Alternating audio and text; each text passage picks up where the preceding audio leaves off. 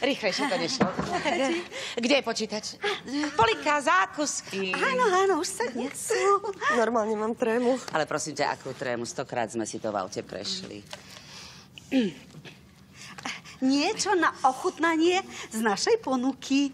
Nech sa páči. Tak. Takže, e, drahá Petra, dovoľ mi, aby som ti predstavila náš podnikateľský zámer. Pečenie s vášňou. Toto sme my tri. Tri silné, sebavedomé ženy, ktoré sa milujú s vášňou, ale aj pečú s vášňou. Všetko robíme s vášňou. Takže máme to vymyslené a spočítané. Minimálne investície a veľké výnosy. Áno, a Polinka minulý rok napiekla na 12 svadeb a 24 pohrebov. Ťažko a... nájdeš väčšiu profesionálku. A, a 10 krstov. Zabudli sme to tam napísať. Takže začali by sme so sladkým a postupne by sme pridávali slané torty. Tie teraz idú. E, Polinka by viedla výrobu, ja propagáciu a Mirka... Ja, ja by som pomáhala so všetkým. Áno, a toto je mlsné pokušenie s tajnou ingredienciou. Nech sa páči. Ochutnaj.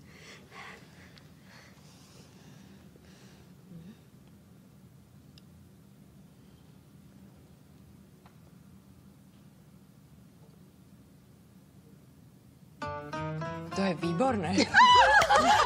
Vy ste skvelé, ja som niečo takéto naozaj nečakala. Tak verili sme si a hlavne vieme, že sme šikovné. E, Peťka, myslíš, že nám to vyjde?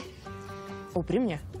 No, Popri Kryšovej autodielni je to jediná reálna vec a ani nepotrebuje príliš vysoký počiatočný kapitál. aký kapitál? Uh, rúru mám, e, plechy mám, suroviny mám, tak môžem začať piec hneď. E, A hlavne všetky tri sme šikovné Áno. a vyzeráme sexy. Naozaj ste ma veľmi, veľmi milo prekvapili. Niečo takéto som presne chcela. Ďakujem. Inak, mm, idem teraz k vám. Volal mi Dalibor. A, a áno, viem o tom, e, tiež má skvelý nápad, ale hlavne popri tom nezabúdaj na nás, áno? Áno. Spolahni sa. A viete, čo si myslím? Že sa konečne môžeme vykašľať na pašovanie a začať normálne podnikať.